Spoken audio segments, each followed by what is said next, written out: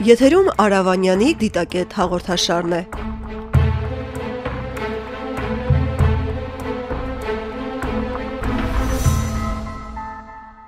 Եթերում դիտակետն է ստուդիայում հաղորդաշարի հեղինակ Արավանյանը։ Հանրային ռադիոյի տեսաձայնագրման տաղավարում շարունակում է քննարկումները մերօրյա հրատապ խնդիրների շուրջ։ Դրանց մասին այսօր խոսելու ենք քաղաքագետ Դավիթ Ղարաբեկյանի հետ։ Պարոն Ղարաբեկյան, օրերս ԵԱԿ Մինսկի խմբի համանախագահող երկրների արտգործնախարարները հանդես են եկել Լեռնային Ղարաբաղի հակամարտության վերաբերյալ հայտարարությամբ կխնդրեի ձեր կարծիքն արտահայտել այդ հայտարարության մասին եւ բարձաբանել թե ինչու հայտարարության մեջ հնչող կոչը կամ կոչերը ուղղված են Հայաստանին եւ Ադրբեջանին երբ մեծամասամբ այդ կոչերն ուղակի հասցեատեր ունեն Բարև ձեզ շնորհակալություն հրավերի համար ցավոք Միսկի խմբի այդ կողմնակալ վերաբերմունքը նոր չէ այն դրսևորվել է հենց այն պահից երբ այդ կառույցը ստեղծվել է կարծես թե Ադրբեջանին արտոնություն էր տրվել, ինքը տիրոջ կարգավիճակում էր եւ հատկապես ուրեմն 44 օրվա պատերազմից հետո, երրորդ Արցախյան պատերազմից հետո նման գործելավոճը կարծես թե արդարացնում է Ադրբեջանի այն պահվածքը, որ ինքը կարող է հանդես գալ թելադրողի դերում, համարելով, որ արդեն հակամարտությունը հանգուցալուծված է, նույնիսկ Միսկի խումբը անելիք չունի, որպես միջնորդ կառույց անելիք չունի։ Եվ ըստ իս նման մոտեցումը պետք է անշուշտ փոխվի, որովհետև այդ տրամաբանությամբ նման մոտեցմամբ դժվար թե Միսկի խումբը կարողանա լուծում առաջարկի, կարողանա ուրեմն բանակցային գործընթացը տեղից շարժի։ Հիմա ես այդ հայտարարությունից կմեջբերեմ մի հատված, որից էլ բխում է իմ հաջորդ հարցը։ Հայտարարության մեջ համանախագահող երկրները կողմերին հորդորում են որքան հնարավոր է շուտ ողջունել համանախագահներին տարածաշրջանում, որ เป զի նրանք կարողանան տեղում անմիջապես գնահատել իրավիճակը, զգալի առաջընթացի հասնել վերոնշյալ հանդիպումներում քննարկված մարդասիրական նախաձեռնությունների իրականացման գործում եւ համաձայնության հասնել ապագա միջոցառումների օրակարգի շուրջ։ Նրանք նաև հայտնում են տարածաշրջանում ԵԱԿ գործող նախագահի անձնական ներկայացուցիչի շարունակական աշխատանքին իրենց վճռական աջակցության մասին եւ կողմերին կոչ են անում լիարժեք համագործակցել նրա ջանքերի հետ։ Հիմա հարցը. Համանախագահները վաղուց հայտարարել են տարածաշրջան այցելելու իրենց մտադրության մասին, սակայն այդ այցելությունն այդպես էլ չի կայացել եւ հայտնի չէ թե երբ է անկայանալու։ Ձեր տեսանկյունից ինչու՞մն է խնդիրը եւ ինչու հայտարարության մեջ նման կոչ է հնչում։ Հարցը կարելի է դիտարկել մի քանի տեսանկյունից։ Առաջինը, եթե մենք դարձյալ հետադարձ հայացք նետենք Միսկի խմբի շրջանակներում բանակցային գործընթացին, ապա կհիշենք, որ Միսկի խումբը սկզբից ուրեմն փորձում էր աջակցել Ռուսաստանի ջանքերին, այդ ժամանակ, ասենք Ռուսաստանը նոր էր անկախացել եւ ապահովել կարգավորման գործընթացի դինամիկան երկրորդը Միսկի խումբը ըստ էության արտացոլում է այն երկրների գլխավորապես այն երկրների շահերը, որոնք գերակա դիրք ունեն համաշխարհային քաղաքականության մեջ եւ տրանցից առնվազն երկուսը ներկայացված են համանախագահության մեջ ըստ էության կարելի ասած Ֆրանսիան ներկայացնում է եւ Եվրամիության շահերը եւ իր շահերը եւ բնական է այդ կառույցը ցույց է տալիս որ միջնորդ կազմակերպությունը համանախագահությունը կա եւ գործում է չնայած ասենք Ալիևի հայտարարությանը, որ նա դա Մինսկի խմբի եւ համանախագահությունը եւ Մինսկի խումբը դադարել է գործելուց արդեն բոլոր հարցերը լուծված են եւ ուրեմն երկրորդը դա բանա Մինսկի խմբի գործելավոճն է որը եւս արատավոր կողմեր ունի շրջանցել սուրանկյունները, այսինքն այն հարցերին այն հարցերին ուշադրություն չդարձնել, շրջանցել, որոնք ցավալիորեն կարող են ընդունվել Ադրբեջանի, Ռուսաստանի, այս պարագայում Թուրքիայի համար եւ ես կասեի, որ այդ մոտեցումը հանգեցրել է նրա, որ բանակցային գործընթացը անարդյունավետ էր, փաստորեն շատ քայլեր կատարում էին կատարվում էին ի վնաս հիմնական կոնֆլիկտող կողմին Արցախի հանրապետությանը եւ փաստորեն հենց դա է բերել նրան որ թե իրավական ասպեկտը պատշաճ կերպով չի լուսաբանվել, որովհետև Ադրբեջանին ձեռնտու չէր ընդունել Արցախի եւ Արևելան Անտերկովկասի հայության հավաքական իրավունքները, պատմական իրավունքները, այդ թվում կողնորոշման, ինքնորոշման հետևանք իրավունքը եւ փաստորեն ինչ-ինչ պատճառներով դուք գիտեք Արցախը դուրս է մղվել բանակցային գործընթացին, իսկ մի շարք առանցքային հիմնախնդիրներ, որոնք որպես այդպեսին ընդունվել են Մինսկի խմբի կողմից, Արցախի անվտանգության խնդիրը,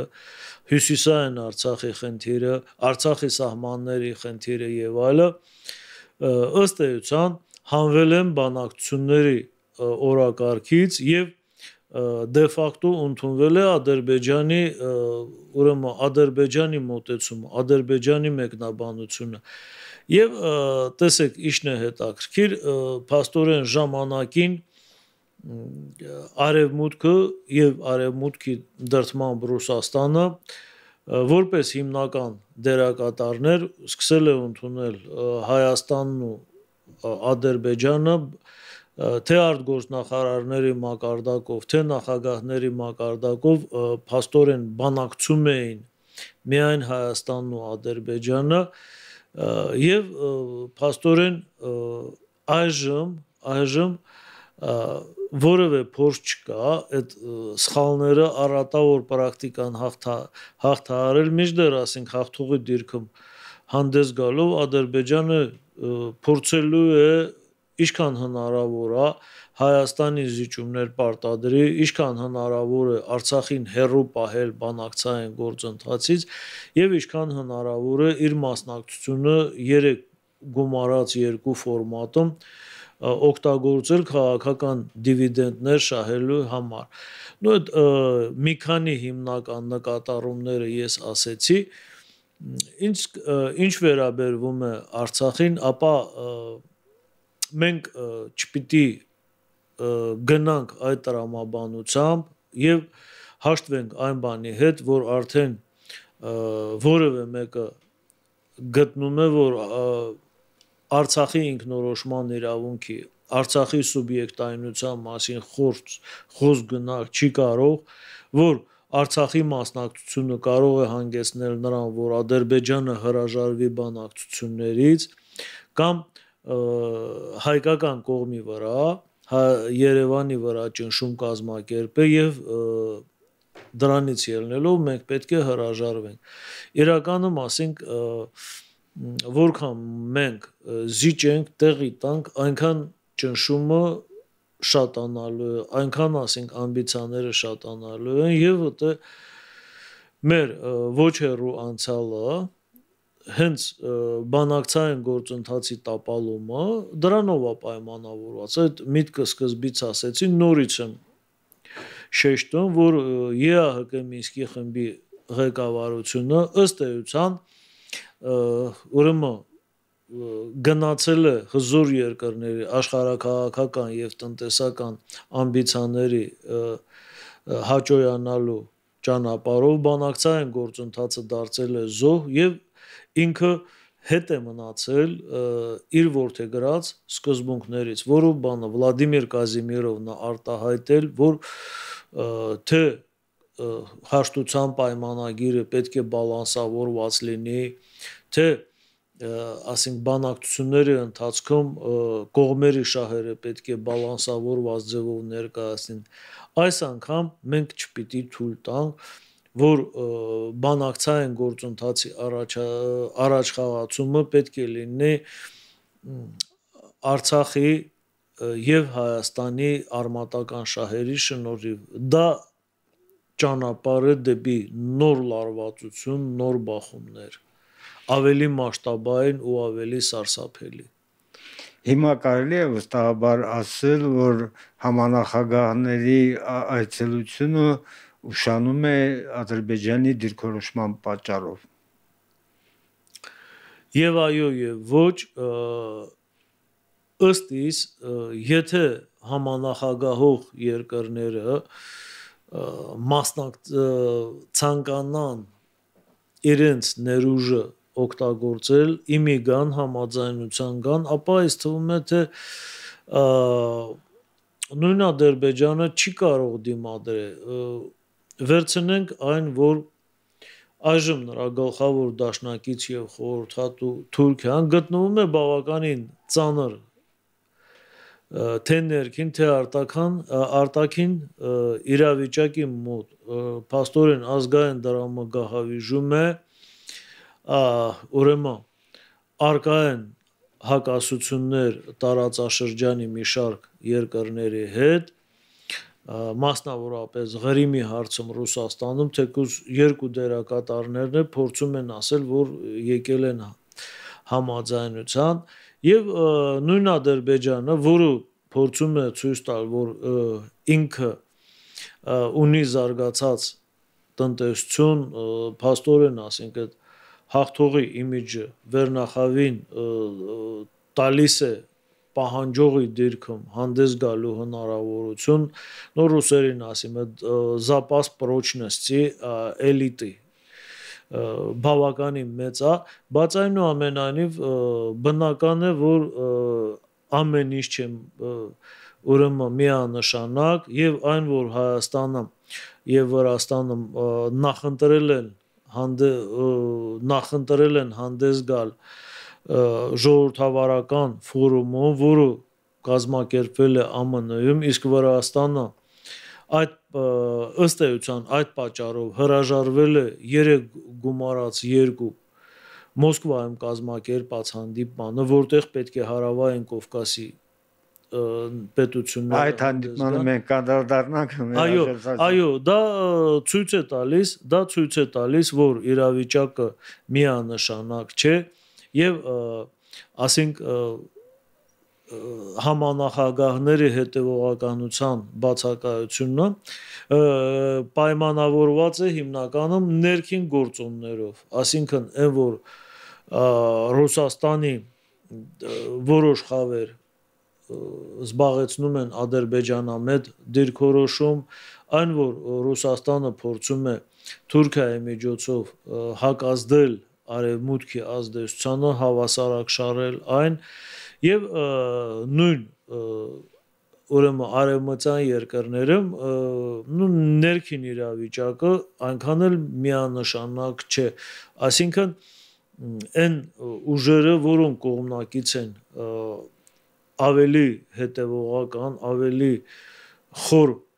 փոփոխություններին հանդիպում են ներքին դիմադրության։ Օրինակ, ասենք, նախքին ամերիկյան վարչախումբը բավականին սերտ կապ ուներ այն խմբերի հետ, այն լոբի, այն լոբիստական կառույցների հետ, որոնք զբաղվում էին զենքի վաճառքով, ուրեմն գազի, նավթի եւ այլ օգտակար հանածոների վաճառքով եւ գիտեք դա օգտագործվել է ԱՄՆ-ն այդ 44 օրվա պատերազմի ընթացքում, ասինքն վճռական քայլերից զերծ պահելու համար, իսկ Ֆրանսիայի ազդեցությունը նու բավարար չէր որ เป զի բեկում մցներ այդ արյունալի ողբերգական զարգացումների հետ թեկուզ օրինակ ասենք ողջունել է Ֆրանսիայի Ֆրանսիայի մի շարք պետական մարմինների կողմից Ֆրանսիա եւ այլ եվրոպական երկրների կողմից Արցախի ինքնորոշման իրավունքի ճանաչմանը շարունակենք մեր հարցերը դիտակետ ծրագրի շրջանակներում քննարկումների ընթացքում մեր բոլոր մասնակիցներն առանց բացառությամբ դեմ են արտահայտվել 3+2 ձևաչափին Հայաստանի խորհրդարանում դեկտեմբերի 8-ին կառավարության հետ հարցպատասխանի ժամանակ վարչապետ Նիկոլ Փաշինյանը հայտնել է, որ հենց այսօր մեր զրույցի օրը նախատեսված է 3+2 ձևաչափով նախնական հանդիպում փոխ արտգործնախարարների մակարդակով։ Թեև Հայաստանի վարչապետն ասում է, որ այդ հարթակում չեն քննարկվելու հարցեր, որոնք քննարկում են այլ հարթակներում, կան մտավախություններ, որ փորձ է արվելու Արցախի խնդիրը տեղափոխել այդ հարթակ։ Ձեր տեսակետն այս հարցում այ ես դե հիշում եմ ժամանակին մե զբաղվում ենք վերլուծական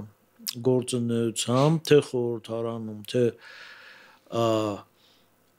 ազգային թե ազգային ժողովում կներեք թե արտգործնախարարությունում իհարկե ցանկացած տարածաշրջանային քննարկում գլոբալ քննարկում իր ազդեցությունն է ունենալու նաև բանակցային գործընթացի շրջանակներում նման դիրքորոշման հետ անհնարին է համապատասխան համաձայնվելը, որովհետև գոյություն ունի Իսրայելի փորձ, Իսրայելը նման փոքր աննշան քայլերով տարածաշրջանային տարբեր ֆորմատներով հարցեր քննարկելով, որոնք վերաբերվում են Հորդանանին, Սիրիային, Պաղեստինին կարողացել է ըստ էության բանակցություններից դուրս մղել դուրս մղել փաստորեն Պաղեստինին այդ ուրեմն ամենա ցավալի հետևանքը երկրորդը ահագին հարցեր քննարկելու ժամանակ նույն բանակցային փաստի առաջ կանգնեցնել փաստի առաջ կանգնեցնել նաև պաղեստինյան կողմը այդ իսկ պատճառով փաստորեն երբ որ Պաղեստինի մասնակցությունը լիարժեք վերականգնվեց, ես ինչու եմ ասում, որովհետև տեսեք, դա մի կազմավորում էր, մի երկիր էր, որի որը որպես պետություն պաշտոնապես ճանաչվել է ՄԱԿ-ի կողմից, իսկ մեր դիրքը ավելի թույլ է, դեռ մեր ինքնորոշման իրավունքը միջազգայինորեն չի ճանաչվել, պատշաճ մակարդակով չի ճանաչվել եւ մեզ համար ցանկացած նման քայլ ցանկացած փաստաթուղթ, որը վնասում է մեր շահերին, որը բանակցությունների ընթացքը ուրեմն տանում է, ուղղորդում է ոչ իշահ մեզ, ուրեմն բավականին ծանր է, ասինք ոնց կարող է հաղորդակցությունների հարց քննարկվի ու չանրադառնա ազդեցություն չգործի բանակցությունների վրա կամ ոնց կարող է օրինակ ասենք անվտանգային միջավայրի խնդիրներ լուծի Ադրբեջանը հարց չի բարձրացնի ասենք դելիմիտացիայի մասին կամ չփորձի այն ընթացքը տա, որը իշախ իրեն լինի եւ ոչ ի վնաս Հայաստանի կամ Արցախի։ Այսինքն եթե վերցնենք այդ դիրքորոշման հետ անհնարին է չհամաձայնվելը եւ երկրորդը, եթե օրինակ հնարավոր է փոխարտգործնախարարների միջոցով տարածաշրջանային խնդիր լուծել, ասենք հարավային Կովկասին վերաբերվող ապա հարց է ցակում իսկ ինչու այդքան երկար ժամանակ կողմերը բոլոր բանակցությունները տանում էին նախագահների մակարդակով կամ արտգարց նախարարների մակարդակով որոնք ըստ միջնորդի անհնարին էին դարձնում Արցախի մասնակցությունը, չէ որ ասենք բանակցությունների արդյունավետությունը ուրեմն պայմանավորված էր ժամանակին եւ Վլադիմիր Կազիմիրովը գրել էր առաջինը Արցախի մասնակցությունով եւ երկրորդը իմ կողմից ավելացնեմ այն որ Մոսկվան կարողացել է ապահովել կողմերին կողմերին ներկայացնող փորձագետների բարբերական հանդիպումները, որոնք ըստ էության նույնիսկ 96 թվականից հետո մինչև 2000-ականները մինչև Քիվեստյան հանդիպումը մեծապես պայմանավորվել են բանակցային գործընթացի առաջընթացը, ասենք եթե ձև հնարավոր է համաձայն համաձայն կլնենք, դեմ չենք լինի, եթե զուգահեռ լինի բանակցային ֆորմատ Արցախյան կարգավորմամբ եւ Արցախյան կողմը ներկա կլինի։ Մենք հիշենք, որ ժամանակին ուրեմն Ռուսաստանի միջնորդության բանակցություններ են եղել եւ կողմերը ներկա են եղել Հայաստանն ու Ադրբեջանը փոխ փոխնախագահների արտգո փոխարտգործնախարարների ֆորմատով իսկ Արցախը ներկա էր օրինակ ավելի բարձր ֆորմատով արտգործնախարարի ֆորմատով դեմ չենք լինի եթե այս պահին երկու փոխվարչապետի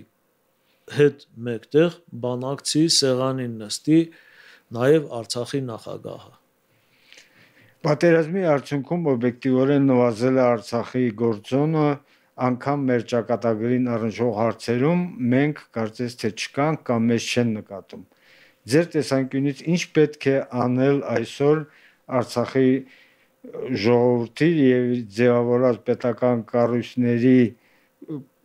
կողմից, որ เป զի այդ գործոնն առավել ազդեցիկ ու տեսանելի դառնա։ Նու մեղա Աստծո 1000 մեղա ասեմ, որ пастоրեն ասենք, դրա պատճառը բավականին խորն է եւ ինչ որտեղ դա մեր մեջ է, մեր նաև հոգու խորքում է, և, Առաջինը ամենամեծ խնդրեմը այն է, որ մենք փաստորեն բաժանել ենք Արցախյան հիմնախնդիրը երկու մասի, ասենք ինչ որտեղ նույնիսկ հակադրել ենք միացում թե ինքնորոշում։ Իրականը մեկը մյուսին լրացնում է եւ պատահաբար, չէ, որ երբ որ Արցախի հիմնախնդիրը ուրեմն դրվել է ՀՀԿ համանախագահ կներեք ՀՀԿ գործող նախագահների մեկի կողմից նույնիսկ մարդու իրավունքների դիտանկյունից, ապա ուրեմն մեր փորձագետները եւ դա արձագանք դրական արձագանք գտավ թե Հայաստանում, թե միջազգային կառույցներում ընդունելի համարեցին, որ մարդու իրավունքները ըստ էության հանդիսանում են ուրեմն ազգերի ինքնորոշման իրավունքի հիմք, որտեղ անհատը հանդիսանում է կարելի է ասած անհատը հանդիսանում է այն հավաքական սուբյեկտի հիմքը, որը ինքնորոշվում է եւ նույն ժամանակը ների ես այդ փորձագետների պատասխաններն էլ կբերեմ միջազգային իրավունքի նորմերն էլ եւ փաստորեն ասենք նույն ազգի ինքնորոշումը դա հանդիսանում է նրա մի հատվածի ինքնորոշման նրա մի հատվածի օտար պետության ասենք ճշնամական պետության իր նկատմամբ բռնաճնշում կամ ոչնչացման քաղաքականություն, էթնիկ ոչնչացման, զտման քաղաքականության ուրեմն իշխանության ներքո ապրելու անհնարինության ճանաչումը եւ բացի դրանից ուրեմն խնդիրը նրանումն է որ Արցախը Արցախը ժամանակին Հայաստանի հետ հարաբերություններում ուրեմն հանդես է եկել որպես պրո հայկական դիրքորոշում ունեցող ուժ եւ դեռևս ասենք ցավալիա որ 96 թվականին Լևոն Տեր-Պետրոսյանի ընտրությունների ժամանակ այդ գործոնը այդ գործոնը առաջ ամաղվել միջդեռ մենք պետք է հանդես գայինք մենք պետք է հանդես գայինք որպես մի պետություն պետական միավոր որը կարելի ասած հավասարակ շռում է հայության մեջ կործանարար տենդենսները, այլ ոչ թե հանդես է գալիս իշխող կամ ընդդիմադիր ուժի շահերի տեսանկյունից Արցախյան հիմնախնդրի քաղաքականացումը Արցախի ներքին կոպիտ ասած խաղերի ներքին process-ների մեջ գործոն համարելը բացասական բացասական հետևանքներ գործել իսկ երկրորդ պատճառը ասեմ ժամանակին հարց է ցակել Հայաստանը կարող է ներկայացնել Արցախը թե ոչ ու ես ձեզ ասեմ երկու ըստ ինձ երկու կարևոր թերացում է տեղի ունեցել առաջինը այն պարագայում երբ որ նու մենք պաշտոնապես հանդես ենք եկել որ Հայաստանի այդ ժամանակվա ղեկավարությունն այդ գործընթացը սկսվել է 2000-ական սկզբ 2000-ականների սկզբից 2000-ից 2001, 2004, 2005 թվական եւ մենք պետք է նշենք, որ այն պարագայում, երբ որ առաջադրվում են պայմաններ, որոնք ուրեմն խոչընդոտում են Արցախի արմատական շահերի եւ իրավունքների պաշտպանությանը, որոնք առնչվում են Արցախի դիրքորոշմանը, անվտանգության, սահմանների հյուսիսային Արցախի հետ, պետք ուրեմն կարող են լուծվել եւ քննարկվել միայն Արցախի ներկայացուցիչների ներկայությամբ եւ բացի դրանից պետք է շեշտվեր, որ անթույլատրելի է օրինակ, ասենք հյուսիսային Արցախի եւ հտե նշված բոլոր սահմանների բովանդակության աղավաղմանը ցավոք սրտի բանակցությունների ընթացքում միջնորդը օրինակ հյուսիսային Արցախի տակ հասկանում էր միայն հյուսիսային Արցախի տակ հասկանում էր միայն Շահումյանի շրջանը, միջդեռ ասենք հյուսիսային Արցախը դա ուրեմն այն խոշոր տարածքներն են, որոնք փաստորեն անջատվել են Հայաստանից, անջատվել են մնացել են լղիմի սահմաններից դուրս եւ ըստ էության հայաթափվել են եւ բացի դրանից այ սահմանների մասին ասելով մենք եթե օրինակ շարունակեինք պնդել ինքնորոշման իրավունքի վրա, այլ օրինակ ասենք սահմանազատման խնդիր կլներ նաև Հայաստանի եւ Արցախի միջև, չէ որ ժամանակի մենք ունեցել ենք ընդհանուր սահման եւ հյուսիսային Արցախը անջատելը Հայաստանից պայմանավորված էր նրանով, որ մահմեդական եւ հայ բնակչության մասին դե այն վաղտ Ադրբեջան չկար, պետք է խաղաղություն լիներ փաստորեն խորհրդային ժողովուրդների մեջ ինտերնացիոնալիզմ պետք է լիներ միջդեռ, ասենք Արցախը ժամանակին ոչ միայն Լաչինով, այլ նաև ասենք դե հյուսիսով, ասենք Մարտակերտ Մարտակերտի շրջանը կապված էր Հայաստանի տարածքով եւ հյուսիսային Արցախի մի շարք շրջաններ, ասենք անմիջակ անմիջապես սահմանակից էին Հայաստանի սահմաններին։ Ուղղակի ասենք այդ խորտ Թուրքիա եւ Ադրբեջանի շանտաժը ուրեմն որոշ բաներ շահագրգռվելը գրգռելը թե հայ քաղաքական գործիչներին թե սովետական նույն ժամանակ ռուս կոմունիստների շահագրգռելը կոպիտ ասած կաշառելը հանգեցրել է նրան, որ այդ խնդիրը լուծվել է Ադրբեջանի կողմից, բայց չէ որ ասենք եթե վերցնենք նույն Դաշկեսանի շրջանը կամ այլ շրջանը հայկական բնակավայրերը սահմանակից էին նույնիսկ Ղազախի շրջանում խորհրդային Հայաստանի հետ տարբեր ձևի ճանապարհ կար եւ ավտոմոբիլային եւ այլ Պարոն Ղարաբեկյան, մեր ժամանակը սպառվեց, շնորհակալ եմ մեր հրավերն ընդունելու եւ մեր ծրագրին մասնակցելու համար։ Դիտակետի հերթական թողարկումը մոտեցավ ավարտին, հիշեցնեմ, որ այս ծրագրին մասնակցում էր քաղաքագետ Դավիթ Ղարաբեկյանը։ Մենք շարունակում ենք հետևել իրադարձությունների զարգացմանը, մինչ նոր հանդիպում եթերում։